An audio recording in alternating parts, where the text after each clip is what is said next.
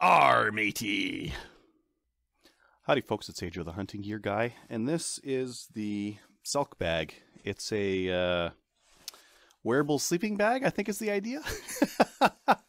so uh, uh, I was looking around for some stuff, and and these guys offered to send me one of these things to try out. So rather than get the camo one, which makes sense, I got the, the most ridiculous, brightest color I could, which is red.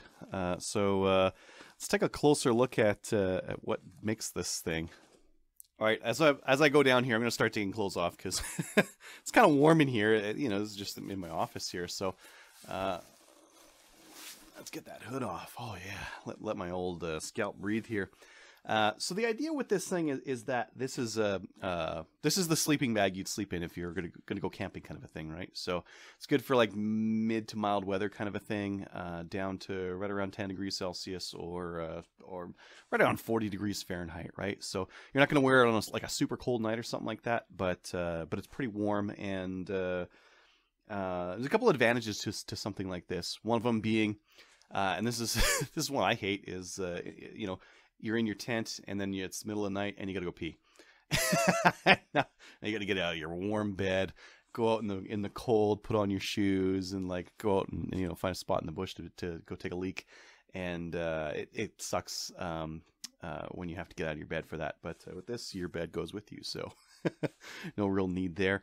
Uh, they show on the uh, on on a couple of their videos like people running around with it and that kind of thing. I don't know if I would like adventure with this kind of thing, but I'd go start the fire in the morning, like in the morning when everyone is is kind of like getting cozy in their bed and they don't really want to get up. Uh, someone has got to get up and start making coffee, and uh, I think uh, you know it's a lot easier to do that when when you can take your warmth with you out into the cold and uh, chop a bit of wood and, and get your kindling going, and, uh, and at least get the the coffee pot brewing, right? Uh, so we've got the hood, uh, the hood here. It does have some uh, some covers for your hands just to uh, kind of keep the uh, the heat in. This is just thin material, so this is purely just like an air barrier here. It's not really any warmth there, but it's pretty warm just as is. and it just kind of folds off there. So again, you can just kind of pop those over on your hands. let's see. Let me get this hood. Oh, this side. There it is. I'm watching my video on my screen here. It's all like mirrored, so not mirrored. Opposite, yeah.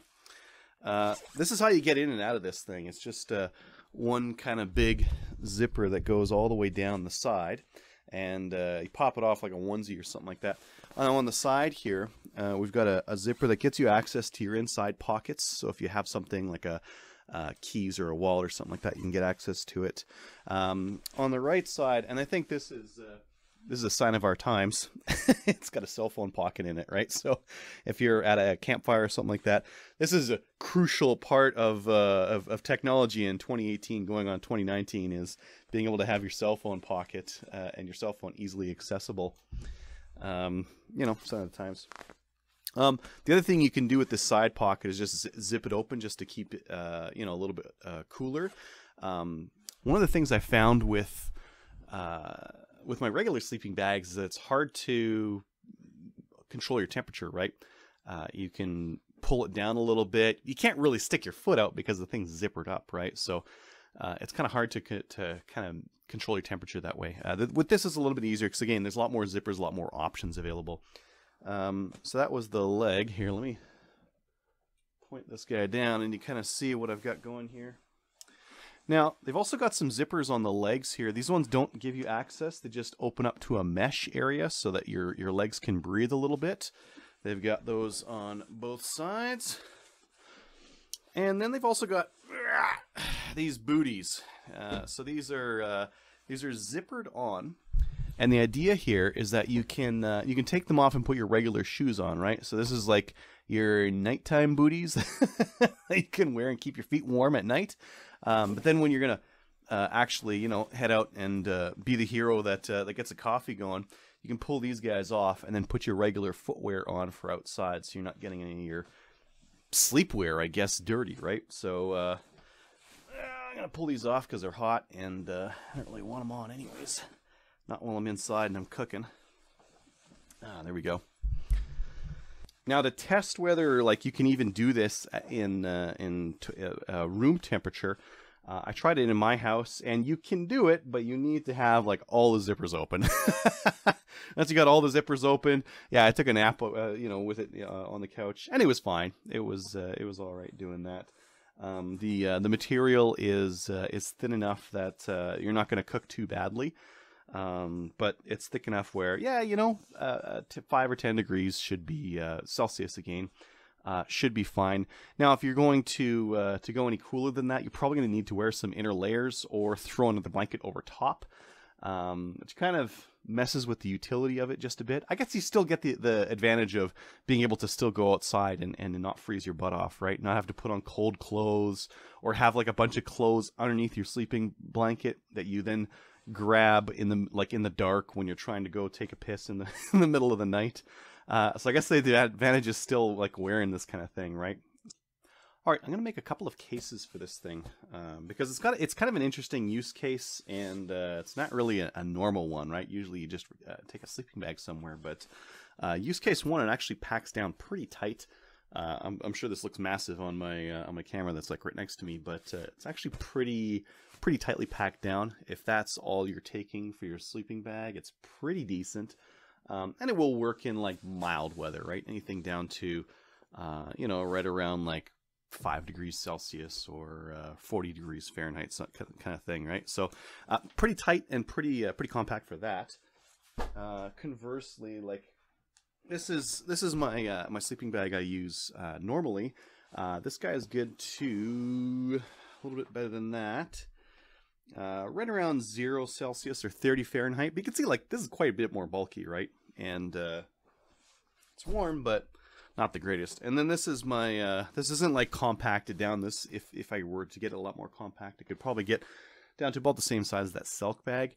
Um, and this is only really good for around 10 degrees uh, and up uh, Celsius. So uh, again, 40, uh, 45 Fahrenheit and up because it's it's just a real thin material. So I guess um, if I were to say one thing, like if you're going to pack for a for a camping trip, uh, this makes for less clothes, right? Because uh, you can use this um, as clothing and as your sleeping bag. So uh, if you've got like a smaller vehicle that you're taking out camping, I guess this could be uh, that could be one use at least, right? Now, I mean, in terms of weight, there's not really that much of advantage. This guy here is uh, 1.6 kilos, uh, and this guy here is two, so it's barely heavier than a sleeping bag that is only just kind of okay for if it's kind of warm outside. now, I did get a chance to uh, try this thing while it was uh, right around zero uh, degrees Celsius, so just at f- freezing uh, for my American friends there, uh, right at freezing, um, and it was all right. You know, I had to wear like decent clothes underneath. I couldn't just go like with a a light T-shirt or anything like that underneath, but uh, it was fine. Uh, it was nice and warm, and it was kind of like a big, big skidoo suit. So, uh, all good from that end. Um, the uh, I, I probably wouldn't wear, wear this in like the dead of winter, but again, I'm in northern Alberta. It's uh, it's cold here, so it's really hard to get clothes that work for zero and for minus forty. They just, they just don't exist. You have to get stuff that's uh, uh, that works within those temperature bands. Now the material itself does look like it's using uh, some ripstop material. So you can see those, I don't know if you can see those crisscrosses on there. Uh, that's generally what ripstop will look like because it's uh, uh, it's trying to stop the rip with uh, with those crisscross strengthened material in there. It's a way of like still using a lightweight material, but uh, um, also stopping it from just ripping all in half when uh, when you get one little scratch in it, right? So that that that looked good. So because this is made of nylon, it's not something that I would wear around a campfire or anything like that because it's going to burn a hole in it. and you don't want that. So I would still wear some other jacket if you're going to sit around a fire for like, you know, uh, a, a few hours kind of a thing. So who's the Selk bag for? I think the Selk bag is for, in my opinion, someone who uh, does a little bit of tenting, wants to minimize what they have to pack with them, uh, aka not just bring a, a, sleeping bag that sits in the in the tent all day, but bring something that they can wear a little bit in the mornings and evenings, kind of a thing. And uh, someone who wants to like add a little bit of comfort, I guess, to camping. Because if you're going to go to the bathroom in the middle of the night, awesome. If you're going to go be the first person to head out and make the fire in the morning, again, awesome. So uh, you got an advantage on both of those. Um, Uh, they're a little bit weird looking.